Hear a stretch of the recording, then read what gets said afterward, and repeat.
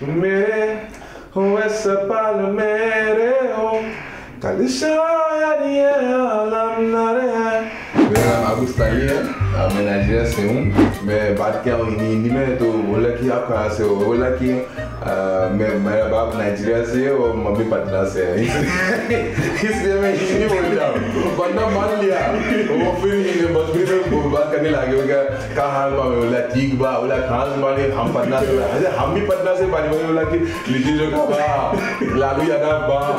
भैया खुश हो गया। अपने पास आके फ़ोटो खिंचवा लेके मैं भी मैं भी पटना से हो गया भाई मैं पटना से हो? गया बंदा बड़ा वो मान लिया भाई कि ये झूठ नहीं बोल रहा है कैरियत पूछो कभी तो कैरियत पूछो माँ की गाली है।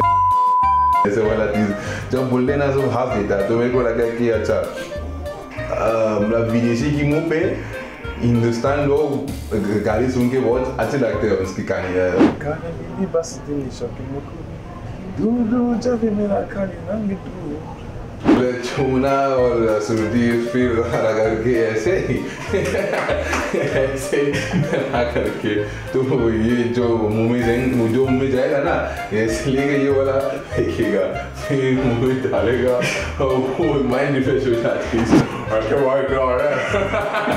आ भाई दाल तड़का बहुत पसंद है मेरे को तो नाइजीरिया में सिर्फ़ नॉन वेज चलता है वहाँ पे मैं इंडिया आने के बाद मेरे को पता चला कि ये वेज खाना है नॉन वेज खाना है तो इंडिया में बहुत पसंद आ रही है मेरे को तो मुझे रहना यहीं पे अगर तो आप लोग देख रहे मेरे को कि रहना यहीं पे तो आराम से आराम से रहेंगे यहीं पे गर्लफ्रेंड है हाँ गर्लफ्रेंड है कहाँ से? इंडिया से या नाइजीरिया से इंडिया से। दिल मेरा देखो। ना मेरी हैसियत पूछो तेरे बिन एक बिन जैसे सौ साल है। अरे ओ सब्बा कितनी याद मेरी।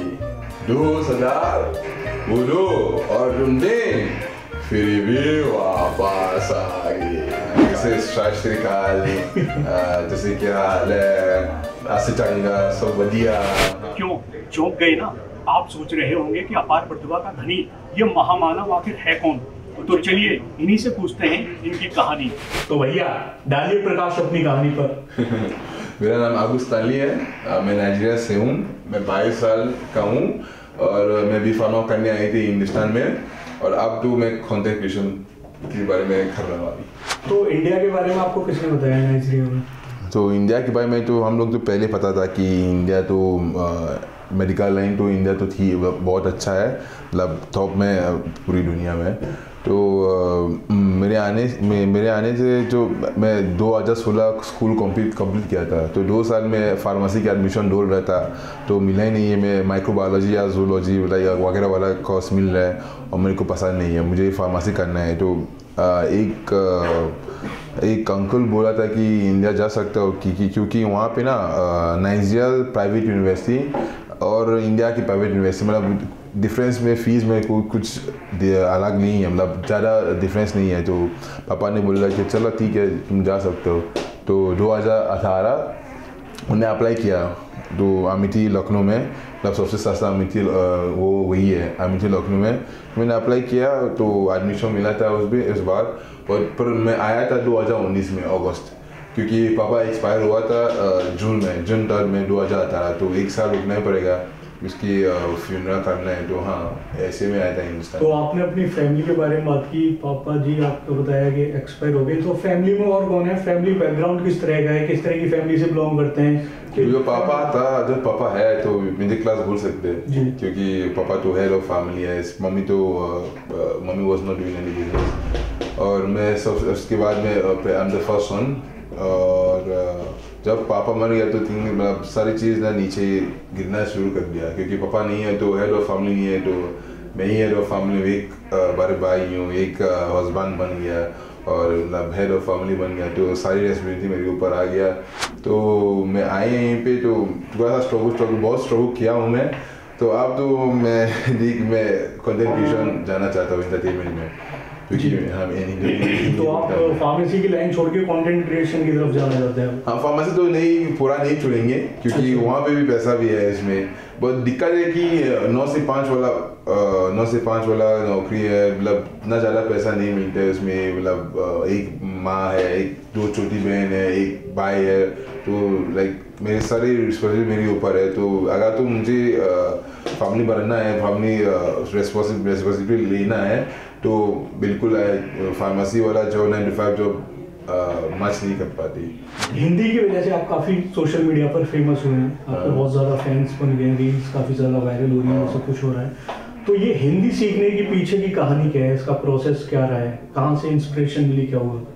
तो लोग सोचते होंगे कि मैं कोई और स्क्रिप्ट लिख लिखता है मेरे लिए मैं पढ़ता है स्क्रिप्ट में फिर मैं कैमरा खोल के बोलने में कैमरा में तो मतलब ऐसा नहीं है। मैं हिंदी फ्री हिंदी में बात कर सकता हूँ। ऐसे शुरुआत की दोस्त दोस्त से मतलब बैठ के बैठ के सीख गया किताब किताब बिल्कुल पढ़ाई नहीं हूँ। अगर तो मैं किताब पढ़ा पढ़ाया तो मुझे लगता है कि इतना अच्छे हिंदी नहीं बोलेंगे। और वहाँ पे मैं लर्न किया हूँ वो भी यूपी में लखनऊ। तो वहाँ पे बहुत अंग्रेज़ी बोलने वाला लोग बहुत कम मिलता है वहाँ पे। और जैसे जब मैं पहुँचा वहाँ पे और बहुत दो तीन नाइजीरियन स्टूडेंट्स था वहाँ पे। वो वो लोग बोल रहे कि यहाँ पे लोग अच्छी नहीं है मतलब कलवा कॉलो ये सब चीज़ बोल बोल के जाते हैं। जब अ, मैं आया यहीं पे ना मुझे मेरा पर्सनल एक्सपीरियंस बनना चाहता हूँ। क्योंकि ये लोग बोलते बोलते बोल के बोल के आएगा तो ये लोग बोल के बोल के बोल के तो ये यहाँ अच्छा नहीं लगेगा मेरे को। तो ऐसे तो दोस्त दोस्त बन गया अच्छे अच्छे दोस्त मिला हूँ मैं। तो बैठ के बैठ के से बात करने में ये हिंदी सीखने शुरू कर दिया, क्योंकि ये सर्वाइवल स्किल है मेरे लिए उस बार। तो क्योंकि मेरे को पता है कि अगर तो मुझे रहना है यहीं पे तो मुझे हिंदी समझता, समझना ही पड़ेगा। तो ऐसे ऐसे थोड़ा थोड़ा हिंदी सीखने शुरू कर दी तो पहले मैं समझता हिंदी तो एक डेढ़ साल पहले मैं बोलने शुरू कर दिया तो थोड़ा सा परफेक्ट हो जाती। तो ऐसे मेरा हिंदी सीखने में शुरू कर दिया और मैं एक अच्छी दोस्त बना था, उसका नाम उत्कर्ष है। मैं बहुत बार बोला था, इसने मेरा भाई जाए, भाई जैसा है। क्योंकि जब मैं आए थे यहीं पे, वो he doesn't know where I am from he doesn't know where but but he became my very good friend जब मैं मैं रहता था इन जैसे लॉकडाउन लॉकडाउन के टाइम में। सब लोग घर चला गया। वो हमेशा मेरे पास आते थे और उस बार पैसा नहीं आता मेरे पास क्योंकि मम्मी की बिज़नेस तो डाउन हो गया, पैसा नहीं आया पैसा आता नहीं घर से। इवन उस बार एक नाइजा बंदा मम्मी भेजा था पैसा उसके अकाउंट पे और बन बंदा में पैसा लेके भाग गया मतलब पैसा दिया ही नहीं है। कहाँ यहीं के लोकल? मतलब वो नाइजीरियन था वो वो मेरा कॉलेज से है पर मैं थोड़ा भरोसा रख दिया उसके ऊपर कि मेरा पैसा देगा आज तक पैसा दिया ही नहीं है। तो ऐसा वाला लोग भी है हर जगह खराब वाला लोग मिलते हैं अच्छे वाला लोग मिलते हैं। तो ये अच्छा लोग मिलते हैं ये उत्कर्ष का नाम है बहुत अच्छे लोग अच्छी दोस्त बना मेरे को। जब मैं मैं हाई हाइट टाइम्स ना, जब थिंग्स स्ट्रगल स्ट्रगल चलता है, जैसे खाना नहीं मिलते ये चीज़ तो मैं उसके घर जाता था, इसकी मम्मी खाना देता है मेरे को, बिना कुछ माँगता है, बिना पापा, सब बहन, दादा, दादी, सब चाचा, चाचू, सारी परिवार में जा चुका है उसी गाँव पे और ऑल्सो तो मतलब ऐसे एक्सेप्ट किया मेरे को कंफर्टेबल लगा मेरे को यहीं पे. ठीक है। हाँ। हिंदी की जहाँ बात आ रही थी तो हम आपकी रील्स को देखते हैं लगातार वो सब कुछ करते हैं तो कुछ कई बार गालियाँ भी देखने को मिलती हैं। तो इन गालियों की कहानी कहाँ है? मतलब कहाँ से शुरू होती है? कि आपको कहाँ से सीखने को मिली? क्या हुआ? किसी ने आपको गाली दी? आपने मतलब पूछा? क्या था? मतलब गालियों की कहानी क्या है? आए सब लोग सिखाए मेरे को मैंने जब मैं आए थे यहीं पे सब कोशिश किया मैंने हिंदी सीखने में। कोई नहीं सिखाया कि कहाँ से हो, नमस्ते, पहला चीज़ वो लोग बोला कि, माँ जो, बात गाली सिखाया मैं, ऐसे ही बोलना चाहिए, ऐसे जब बोलेंगे ना, सब हंस देता भाई। माँ की गाली, ऐसे वाला चीज़। जब बोलते ना, सब हंस देता तो मेरे को लगा कि अच्छा मतलब विदेशी की मुँह पे हिंदुस्तान लोग गाली सुन के बहुत अच्छे लगते हैं उसकी कहानी कहानी में उसके दिमाग में वो अच्छे लगते हैं वो लोग। तो ऐसे गाली सीखने शुरू किया और आपको पता है कि अगर तो तुम यूपी में रहते हो ना हर हर बार गाली सुनना है सुनना ही पड़ेगा। जैसे ऑटो रिक्शा वाला सब्ज़ी वाला हर हर बार हर बार गाली चलता है। अगर तो तुम दस दोस्त दोस्त के साथ रहता अगर तो गाली नहीं निकली बात नहीं चलेगा। तो ऐसे ऐसे थोड़ा थोड़ा सीखी गाली। जी। कभी आ, ऐसा कोई इंसिडेंट हुआ कि आ, सामने वाला ये सोच के चल रहा हो कि आपको हिंदी नहीं आती? हम्म। वो अपने आपस में बातें कर रहे हो कुछ हो रहा हो हम्म। और आपने अचानक से हिंदी में कुछ बोल दिया? पूरा माहौल सुनने एकदम से। हाँ मतलब अच्छा वाला भी है और खराब वाला भी है। बताइए जरा। तो मतलब अच्छा वाला होता है जैसे कि मैं ओला बैठता हूँ और जैसे फ़ोन में बात अच्छा, अच्छा, डॉक्टर वाला कल ये मेरा पैर पैर में एक लिगामेंट टेयर हुआ। तो मैं आसपास में देख लिया कि फिजियोथेरापिस्ट फिजियोथेरापिस्ट ने भी मैंने सर्च किया हूँ तो फ़ोन किया उसको तो मैं हिंदी में बात किया हूँ कि भैया मेरा चोट लग गया पैर में ये मैं मुझे आना वहाँ पे। बोला कि आओ आओ। तो जब मैं पहुँचा वहाँ पे उसको नहीं पता कि मैं ही बोला था। वो अंग्रेज़ी अंग्रेज़ी में बात किया हूँ भैया मैं फ़ोन ही किया था आपको हिंदी में हिंदी में बात आप ही फ़ोन ही किया था मेरे को क्या? "हाँ, मैं ही फ़ोन ही किया था आपको? उसको बोले वो वो शॉक हो गया बोला डिस्टर्ब हो गया कि क्या हो रहा है मेरे साथ? क्योंकि वो कोशिश कर रहा है कि इंग्लिश अंग्रेज़ी अंग्रेज़ी में बात करें। भैया आप हिंदी में बात कर सकते हैं आराम से मैं समझता हूँ।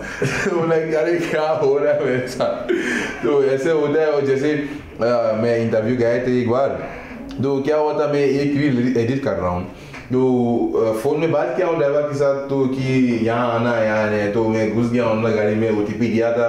सिर्फ़ ओटीपी दिया था, मैं पीछे बैठा हूँ। तो उसको मतलब बात नहीं किया मेरे को। उसको लगता है कि मैं अंग्रेज़ी बोलता हूँ। तो रील एडिट किया पूरा। तो मुझे एक गाना की आइडिया चाहिए तो मैंने फ़ोन किया अमन भैया कि अमन भैया अ, अ, गाना क्या आइडिया दे मेरे को तो मैं हिंदी में बात कर रहा हूँ बंदा गाड़ी चला रहा है वो वो- वो घूम कर क्या हो रहा है पीछे में कि अरे भैया आप ही बात कर रहा हो दूसरी बंदा है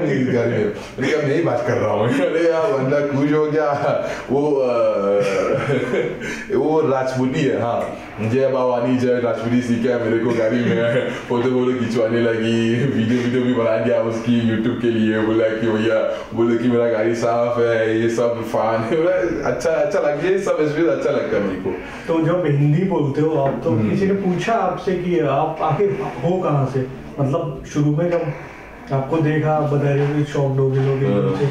शुरू में सोचा होगा कि विदेशी है हम्म। हिंदी नहीं जानता हो ये सब कुछ हाँ। तो कभी कुछ ऐसा हुआ कि आपने अचानक से हिंदी बोल दी किसी के सामने हम्म। उसने पूछा हो कि आप कहाँ से हो तो मैं मैं बहुत बहुत बहुत एक एक चीज़ हुआ था हमेशा कि मैं बात किया हूँ हिंदी हिंदी में तो बोला कि आप कहाँ से हो? बोला कि मैं मेरा बाप नाइजीरिया से है और मम्मी पटना से है इसलिए मैं हिंदी बोलता हूँ बंदा मान लिया वो फिर भोजपुरी में बात करने लगे क्या कहा हाल बा मैं बोला ठीक बा बोला कहाँ से बानी हम पटना से। अरे हम भी पटना से बानी मैंने बोला कि लिटिल जो का बा लालू यादव बा भैया खुश हो गया अपने पास आके फ़ोटो खिंचवा लेके अरे मैं भी मैं पटना से हो ये वो भाई मैं पटना से हूँ अरे बंदा बड़ा वो मान लिया हमारे कि ये झूठ नहीं बोल रहा है हाँ ये होता है मेरे साथ। आपने एक तो खैनी वगैरह पे रील बना दी। ये बहुत चीज़ें मतलब यूपी बिहार वगैरह में यूज़ होती है सब तो आ,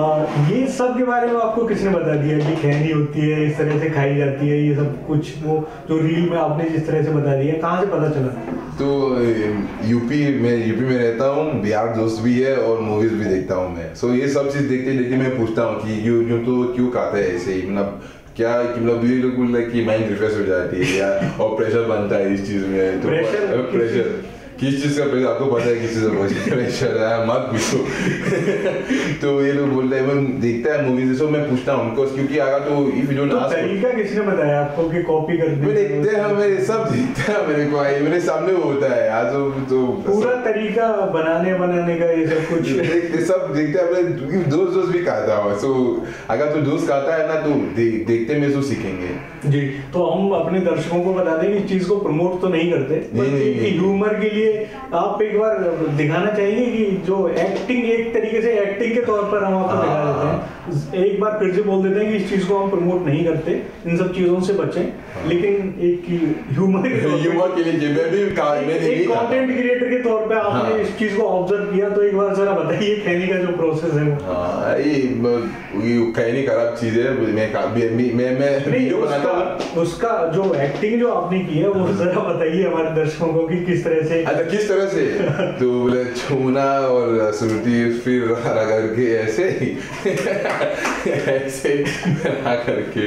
तो ये जो मुँह में जाएँगे जो मुँह में जाएगा ना इसलिए लेके ये वाला फेंकेगा फिर मुँह में डालेगा और वो माइंड रिफ्रेश हो जाती है बात उस टाइम पर बात करने की जो टोन भी बदल जाती है लोगों की। हाँ, तो ऐसे- कुछ। अच्छा भाई क्या हो आ जा रहा भाई कार ऐसे बात। करते हैं जब आपके अकाउंट पे जाते हैं सोशल मीडिया अकाउंट पे. तो मतलब देखते हैं कि शरीर के साथ आपने काफ़ी ज़्यादा मेहनत की है। Hmm. बॉडी पे टाइम दिया है वो चीज़ें दिख भी जाती हैं सब कुछ। तो ये इसके पीछे क्या कुछ है? मतलब आप बहुत ज़्यादा अपने रूटीन को मेंटेन रखते हैं मतलब डिसिप्लिन में रहते हैं क्या कुछ है? खाने पीने की चीज़ें बहुत ज़्यादा ध्यान रख के खाना क्या कुछ है? मतलब एक रूटीन के बारे में बताइए कि ये सब जो मेंटेन किया है, उसके पीछे की कहानी क्या है? तो बचपन से ही तो आज तक जिम गया ही नहीं हूँ। आज तक जिम गया ही नहीं हूँ बट मेरा रूटीन रूटीन है कि बचपन, मुझे लगता है कि जेनेटिक्स अच्छी है मेरा। बचपन से मैं मस्कुलर से बढ़ती जा, बढ़ते आ रहा हूँ। और मेरा रूटीन है कि मैं बास्केटबॉल खेलता हूँ रोज रोज क्योंकि मैं professional basketball Indian basketball player हूँ।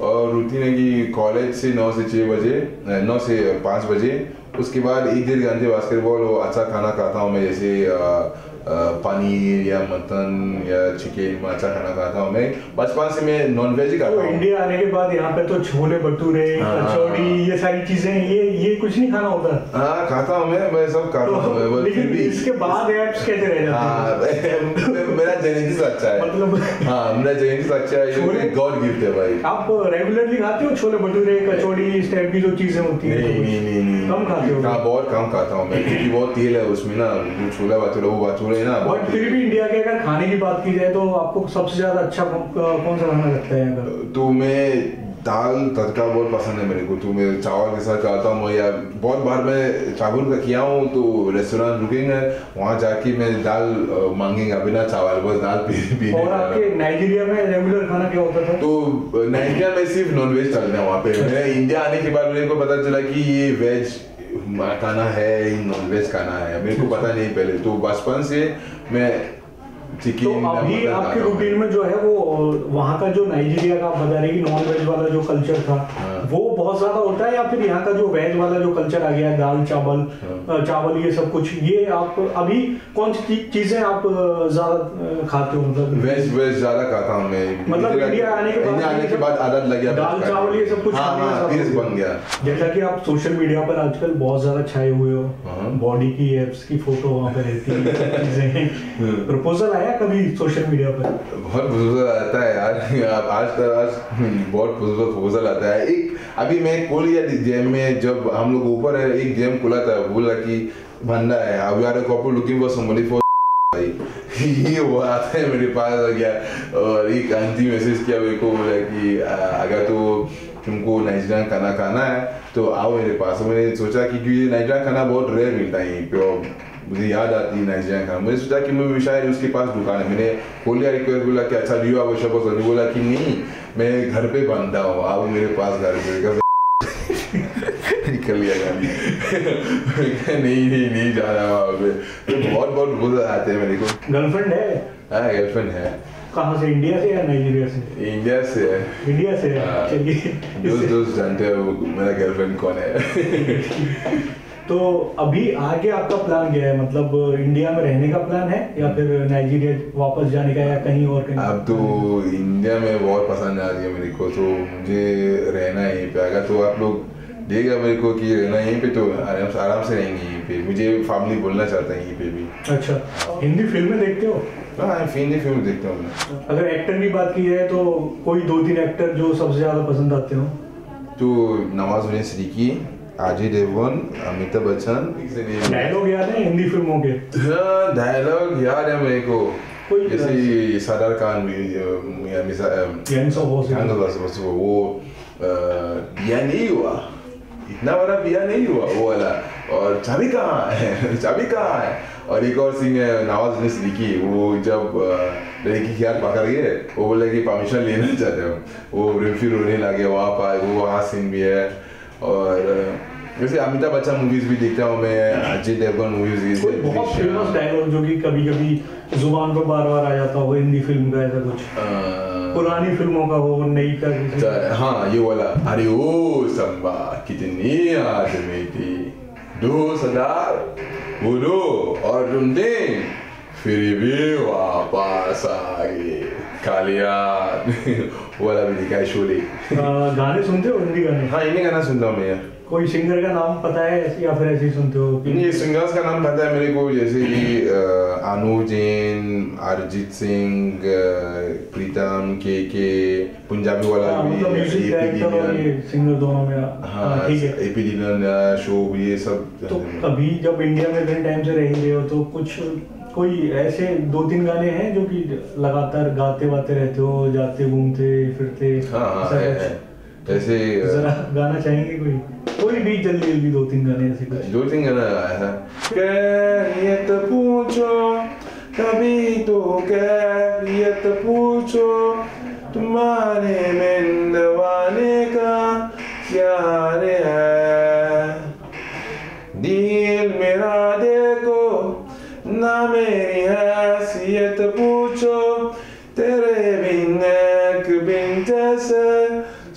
सौ साल है ये गाना अरिजीत का है चिचोरे से सुशांत सिंह राजपूत का मूवी है। और अरिजीत तो गर्लफ्रेंड के लिए कौन सा गाना गाते हो? वो एक बार बस हो जाए तुम मेरे हो ऐसा पल मेरे हो। कल शायद ये आलम न रहे कुछ ऐसा हो तुम तुम न रहो कुछ ऐसा हो आलम न रहे ठीक है ठीक ये रास्ते अलग होगा ये सब याद है मेरे को। है और हिंदी के अलावा और कौन कौन सी भाषा सीखने की कोशिश की है इंडिया में? मुझे पंजाबी बहुत पसंद है मेरे को पंजाबी हाँ हाँ। पंजाबी में कुछ बोल के थोड़ा बहुत थोड़ा कुछ। जैसे सत श्री अकाल आ, जैसे क्या हाल है चंगा सब बढ़िया हाँ ये सब। पंजाबी गाने सुनते हो? आ, हाँ सुनता है बट मेरे को समझता ही नहीं है बट मुझे अच्छा लगता है क्या म्यूज़िक अच्छा लगता है? हाँ म्यूज़िक बी हाँ बीट या म्यूज़िक है जैसे ईपी जिलोन बहुत सुनता है इसे। तेरे तेरे मुंडे पागल नहीं सारे।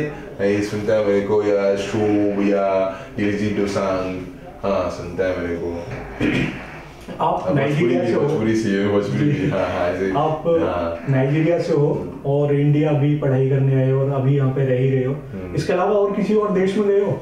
नहीं नहीं नहीं इंडिया पहली देश में गया हूँ। अच्छा। हाँ। अगर इंडिया नहीं आते आप तो आपकी लाइफ क्या होती? कितना अंतर होता? फ़र्क कितना होता? है भाई साहब बात पूछो यार मेरे को नहीं पता सीरियसली बता रहे हैं आपको मेरे को नहीं पता। जैसे दोस्त दोस्त है मेरे ना जो वहाँ रहते थे तो वो लोग नौकरी नौकरी कर रहा है कुछ कुछ कुछ नहीं कुछ नहीं हो रहा है उन लोग की दुनिया में आगे तो अगर तो मैं वहाँ पे होना मेरे को पता पता नहीं कि बस मेरा किस्मत अच्छी है वहाँ ये पहुँचा हूँ। तो मतलब अगर तो मैं इंडिया नहीं आऊँगा ये सब सारे सवाल तो. मुझे पता है पर इसके बारे में नहीं पता है। ठीक। आखिर में एक गंभीर सवाल जैसे कि आपके कंटेंट में कई बार देखने को मिलता है कि कलर से जुड़ी हुई चीज़ें होती हैं जो कुछ होता है। तो आप अपने फैंस को कोई मैसेज देना चाहेंगे कि जो चीज़ है रेसिज्म के मुद्दे भी उठते रहते हैं लगातार तो आपका मकसद क्योंकि आप रील्स बनाते हैं वहाँ पे कॉमेडी मकसद होता है क्या होता है? तो इस चीज़ पे कि कहीं उस चीज़ को आपके फैंस बढ़ावा देके रेसिज्म की तरफ़ ना चले जाएँ तो इसके लिए कोई मैसेज देना चाहेंगे? तो हम लोग रील बनाता है।